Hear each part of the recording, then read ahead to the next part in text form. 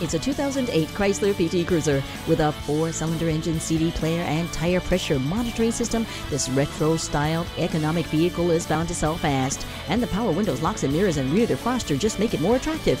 Come take a look for yourself. McConnell Chevrolet. Color stopping today.